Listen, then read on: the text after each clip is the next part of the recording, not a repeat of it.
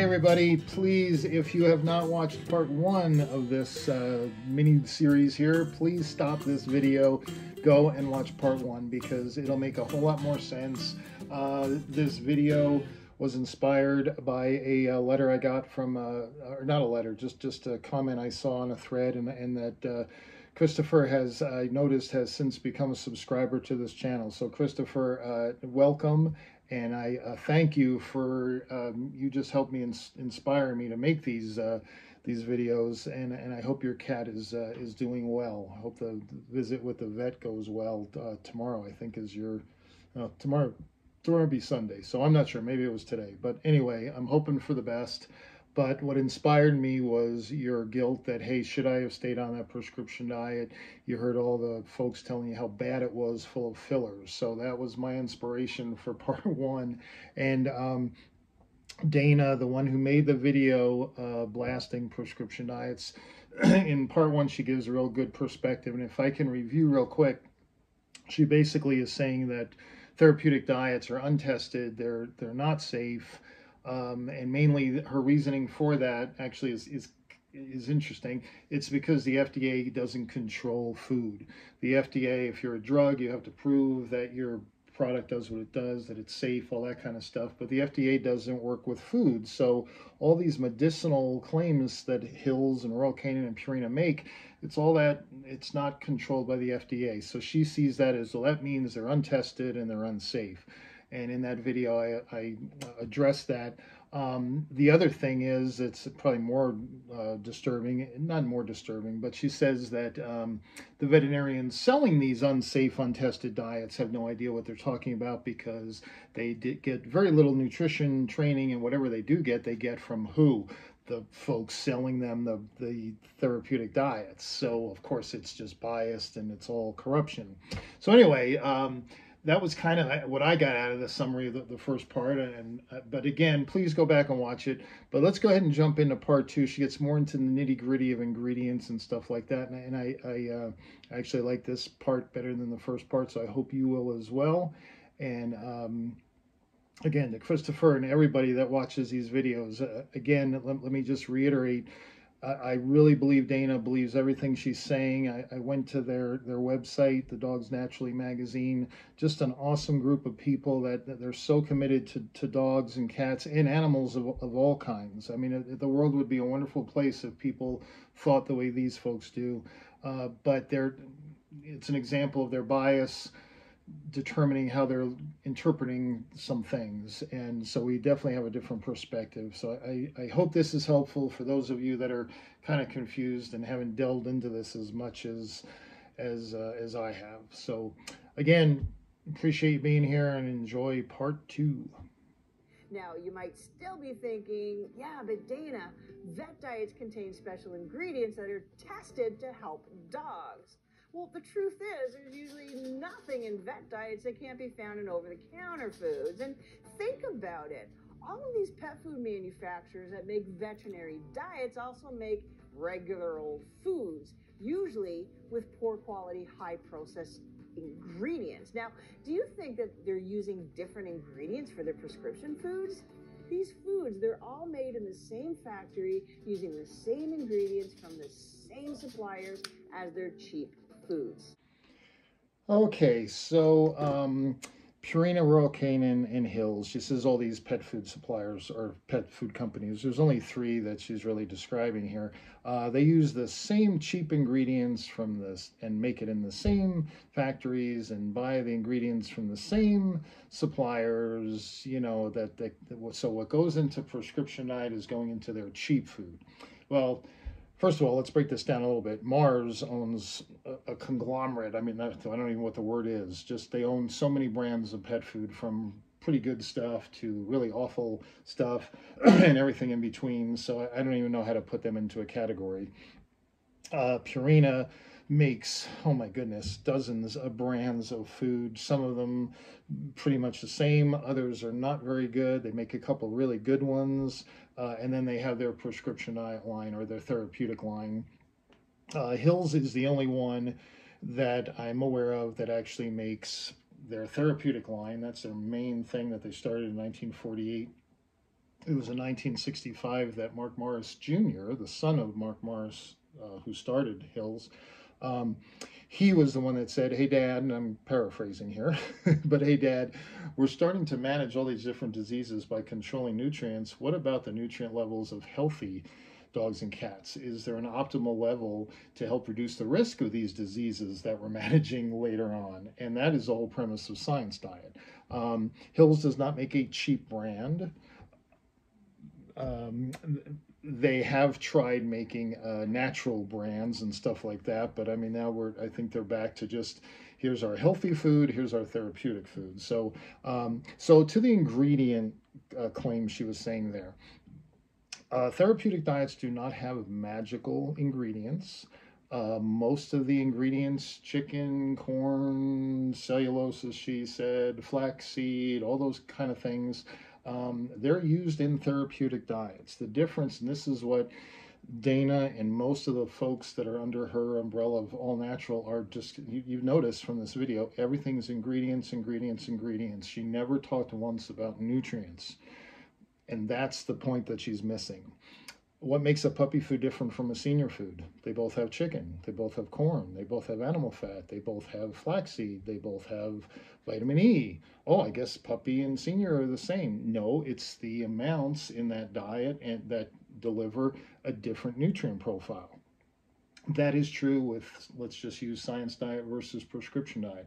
She did she did mention one thing that is actually true some of the best meat meals, the best quality meat meals that are really pure, they're going to go into prescription diet and not science diet. Why? Because we need lower mineral levels in many of those therapeutic diets, especially urinary diets and renal diets, where some of the meat meal or the meats that can go into regular science diet because those uh, requirements are, are less, less stringent, let me say, for the healthy dog or healthy cat they get very strict in the therapeutic side. So she actually is incorrect there, where it's the same ingredients. It could be the same, you know, it's chicken meal, but we're going to take the purest, most expensive chicken meal we get. And I can tell you, it's going to go into cat food way before it goes into dog food. Why? Because cats are much more sensitive to those mineral excesses. So if you're designing diets around the the finished nutrient profile, that determines the quality of your ingredients that go in. And so uh, that's the point that she's missing, but that's what differentiates all these different diets. It's not the ingredients, it's not how appealing they sound to you, it's not where they are on the ingredient panel, it's what's the nutrients being delivered. That's the difference between a healthy cat food that no let's go let's go even let's go worse. Let's say an unhealthy cat food that's extremely high in protein extremely high in calcium and phosphorus and magnesium that's predisposing this cat to kidney disease to struvite crystals uh, to calcium oxalate stones whatever um, versus a healthy cat food or what? We've controlled that protein a little bit, but we're really controlling the mineral content. We're, we're controlling the, the urine pH to help prohibit stones from being formed. That's a good healthy cat food. Or we can go to the extreme where, hey, your cat just seems to plug up all the time with struvite stones. We have her on a therapeutic diet. Guess what? We're going to even restrict those levels even more. Okay. The ingredients going into that will determine those nutrient levels. So that's what Dana is missing, and that's an important part. That uh, you know, there's no unicorn uh, meat in therapeutic food. There's no fairy dust. There's no special ingredient. It's which ingredients at what levels to manage that disease. And I will say real quick, uh, I've even been trained now to say manage. The FDA did not like back when they were trying to figure out what to do with prescription diet. They didn't like us saying that uh, KD treats kidney disease or that CD treats urinary stones. So they told us as reps we had to say manage because treat falls under uh, a drug. We're not treating a disease with a drug, we're managing it with diet. So that's why you'll notice in all my videos, I've, I've been really trained. I got used to it before I retired, but uh, to say manage instead of treat. So the FDA did have some impact, if, if you want to call it that, that we will tell you KD manages uh, kidney disease, it doesn't treat it like a drug would. It's super hard to believe that the cellulose, corn, gluten meal, and byproduct meal used in prescription diets, it's extensively researched and proven better than the same crap that they use in their supermarket foods. Well, Dana has been uh, watching the same uh, YouTube videos or uh, propaganda because I hear the same stuff about poor cellulose and corn gluten meal. Cellulose is a uh, basically a wood product. It's it's a uh, fiber source, uh, insoluble, so it's part of the help the GI tract uh, motility. Uh, beet pulp would be another uh, fiber source. There's a bunch out there, but they love picking on cellulose and saying that it's sawdust that's swept up off the floor. it's not. It's a fiber source. It's high quality. Actually, it's one of the more expensive ones because it's it's a very pure. Uh, uh, fiber source with a lot, a lot of extra nutrients in it. So when you're trying to formulate a diet, and control of the nutrients, a, a, fiber source that's not adding a different nutrient is actually a good thing. So uh, in corn gluten meal, again, if she understood, and, and, I don't mean to demean her, this is something everybody should understand. The reason corn gluten meal is such a valuable uh, ingredient in therapeutic diets is because there's many times, even in carnivore uh, diets, where we need to provide protein to, to provide amino acids, but uh, the kidneys are damaged. There's compromised kidneys. So all that meat protein is going to produce nitrogen waste. It's going to be overtaxing on the kidneys. There's going to be a lot of phosphorus that's going to come with that meat source, no matter how pure it is. So by adding corn gluten meal, it allows us that now you heard gluten, right? That's the protein part of the corn, not the whole kernel, just the protein part, that little heart inside there.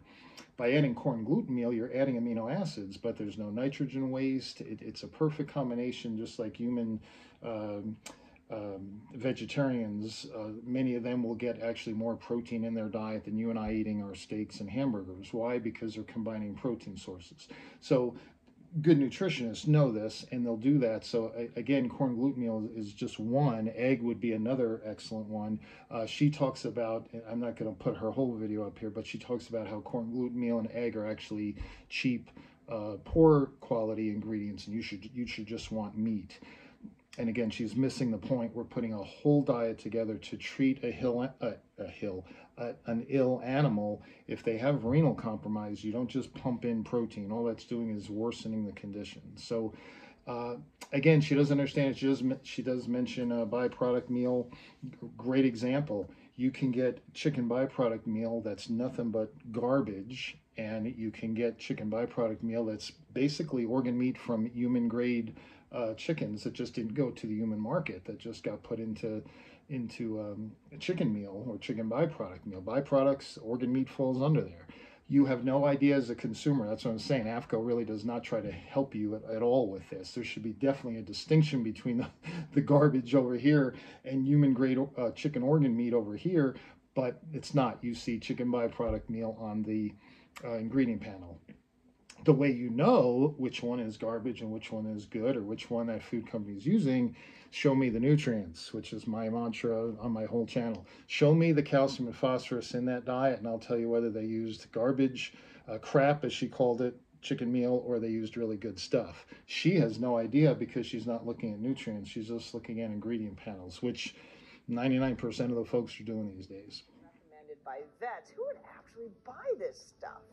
And how exactly would this manage my dog's joints anyway? Where are the therapeutic ingredients that I can't find in any cheap grocery store food? Well, it must be the fish oil and glucosamine hydrochloride. I'll tell you what, if you want to feed your dog this quality of diet, and I really hope you don't, then why not just go to the supermarket grab a cheap bag of food that's probably half the price and just add some fish oil and glucosamine for a few cents a day. So what Dana's talking about here is she actually went through, I didn't put it in, in my video here because it'd be too long, but she went through and, and used Purina's joint diet, looked at the ingredient panel, and of course tore it to shreds because all she's doing is looking for, show me the fresh, appealing ingredients, not the ones that I don't understand. I actually just did a video on our joint diet just about two weeks ago, so it's funny that uh, she brings this one up. But um, why not just buy a cheap food, like she said, and then just add fish oil because she's she's kind of correct. She's 50% correct. It is the fish oil in the joint diets, whether it's Purina's, Hills, or Royal Canin's. Um, it's the magic that makes it work, okay? Um, but there is a problem with her thinking. One is that how much fish oil do I use? And it's a fish oil. The reason you're using fish oil is because it's a high quality uh, omega-3 source. So I'm going to use fish oil, but I don't know how much, and I want to get omega-3s in the dog. The problem is, and, and Hills does this better than Royal Canin and, and Purina, you need to get as much of the EPA, that's a special uh, uh, omega-3, that's the omega-3 fatty acid that actually turns down the expression of the genes that are producing the aggrecanase enzymes that are destroying the cartilage. Now, I know that's that's a mouthful there, but it's one of uh, Hill's foods that actually uh, deals with uh, gene expression. We can't change the genes. Genes are designed to do what they're going to do. God's just made it that way. We can't change them, but we can change their expression. So she's right. It is fish oil, but you need the right amount of fish oil and you need, more importantly, the right amount of EPA. Google it and you'll see EPA is a magical omega 3 that actually uh, turns down the gene that's producing the damage to the cartilage. That's that's the key. NSAIDs don't do that. Drugs won't do that. Uh, glucosamine, she mentioned that. I doubt it's doing anything in the diet. It's in there, but it really is unproven at this point. It's just anecdotal. But that EPA is what's doing the magic. The problem is, Dana, if you're going to just say, well, I'm just going to feed uh, or add EPA, even I'll go find a supplement. One, supplements are much more uh, less controlled than even dog and cat food. So it's the Wild West when it comes to supplements. I'd be very cautious there. But the problem is if you're going to feed a regular food, a cheap food from the grocery store, even if it's an expensive food, uh, Orijen, Taste the Wild, whatever, if you look at those diets, you'll see the omega-6s, the omega-3s in those diets, lots of sixes and, and a little threes. Usually it's like 10 to 1 in, in most foods I've ever looked at, okay? Problem with the arthritic dog, and this is what Purina was getting at with the fish oil, omega-6 is great for skin and coat, but they increase inflammation for that arthritic dog.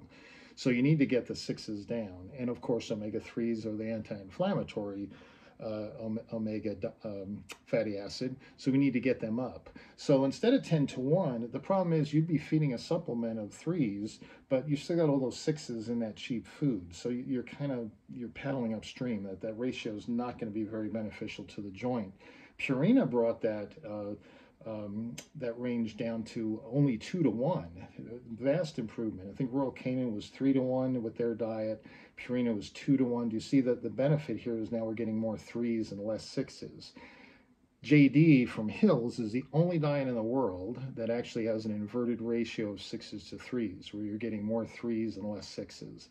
That's the magic of how that diet works. And it works within three weeks. It's pretty amazing. And again, it's the only diet that was tested as a pharmaceutical and scored just as high. It just takes a little longer. Okay. So so there's just a little bit of information that that Dana should know about that diet that she just ripped apart. That there actually are reasons. Now again, she's just looking at an ingredient panel. The other thing I would say about that cheap food that she's talking about that she's going to add uh, fish oil to what are the what's the protein, calcium, and phosphorus and sodium level in that diet? Most arthritic dogs are older. They're at a risk of kidney disease. They're at a risk of calcium oxalate stones, uh, hypertension, stuff like that. We can control the risk of that by controlling those nutrients, not just feeding something because it's fresh or natural or whatever. So, and as far as nature goes, I know she's into nature. Uh, there is no geriatrics in nature. Uh, old, there's no old wolves walking around that are getting dental care and vaccines and parasite control and optimal nutrient levels. No, they, they eat what they can. It, it's not very healthy for them once they get older and their kidneys are shot, that kind of thing. So nature is not very very nice to older uh, dogs and cats. What we can do through the veterinarian and the research that's being done uh, is pretty amazing, actually. But I, I, think she misses that because she's kind of stuck in that all natural world. In my opinion, veterinary diets are the biggest scam in the world, and nobody cares. Except me and you, of course. But the very sad fact is, veterinary diets are among the worst quality, least safe foods that you can give your dog twice the price. You know, it's Christmas, so I, I want to be, I want to be uh, charitable here and, and not uh, get like I did with, with Cam on that video. But um, I don't know how to respond to that. I mean, I, I, hopefully I've even given enough information that you know to say that it's uh, that therapeutic diets, prescription diets are untested and poor quality. Uh, again, I guess it's a good example of you could be totally sincere, totally committed to your beliefs. But if your bias is what's leading you and you're not looking at the whole picture, uh, again, it goes back to, I guess, the pet food puzzle guy. What did I say? I started this channel to take all those different pieces, just like a puzzle here on the on my table here, and put them together so that you get a clear picture. Uh, here's a perfect example of not getting a clear picture because you're just looking at these pieces over here, you've put them together in a way that doesn't make any sense. The, the amount of research and money and evidence, evidence-based science and the results that, that we see with these therapeutic diets, I, I really don't understand how Dana and, and her team uh, can believe what they believe, but hey, you know, so it makes the world go round, right? But uh, again, it's heartbreaking. Um, it's really a shame that people are being misled and not use, utilizing these awesome diets that really can help their animals. So um, uh, just, um, it's just sad. It's just really sad. So the next time your vet wants you to feed your dog a prescription diet, I want you to ask them to review the ingredient list with you one by one and ask them for hard evidence that those ingredients are any better than those that you would find in regular food. Well, I'm thinking if the veterinarian knew how prescription diet works, that when the client said, you know, show me the proof of how it works, one, uh, he could pull out the Hills book, and there's lots of uh, references to the different studies for each of the therapeutic diets in there. You could do that. Uh, you could just tell them, because obviously they trust the veterinarian or they wouldn't be coming there, they'd be going somewhere else. You could say, yes, there are decades of research and ongoing research all the time. I go to lectures, I go to continuing ed. That's how I keep up on all this stuff. So, yeah, there's lots out there. Um, you could also just more simply, if you're a veterinarian that's practiced for a period of time, you could just say, I see the results of these diets. I mean, I'm not a nutritionist, but I've learned enough to know um, with your cat with urinary stones, if we don't get her on a diet that's designed to prevent those stones, chances are they're coming back. We need a diet that's restricted in the minerals those stones are made of, that that maintains a urine pH that helps prohibit stones. Uh, you know, there could be basic things that a veterinarian, hopefully, if they were any of my veterinarians, I would hope, could explain as to why we want you to use this food. Um, what else? I think that's... Uh, that's about it. As far as each individual ingredient, I'm sure, I, I could guarantee you there's going to be doctors that are going to say, well, I'm not sure why they use that or why that's in there, um, but I'm most interested in the finished results and the nutrients provided. Not each and every ingredient. That's, you know, I, am trusting these nutritionists are picking those ingredients to deliver the specific nutrients to manage your pet's disease. That's the whole point. And again, bottom line, I, I think for most clients, they trust the vet they go to. If the vet says, look, I, I see these results every day, and that's what I would tell Dana, just animal lover to animal lover, um, you know, I'm I'm just a messenger. I'm not the brilliant people coming up with these two these diets and all. And and a lot of when I would sit through some of their lectures and stuff, a lot of it whew, over my head. Okay, so I had to keep it kind of to this level down here. If the veterinarians had really crazy uh, questions that were way beyond my expertise, they could call the 800 number and talk to a, an actual board certified nutritionist and get the answer they need. Well, that was a lot of information, and I apologize if I went long with that, but uh, if you're still with me, uh, thank you, and I hope all that information was helpful.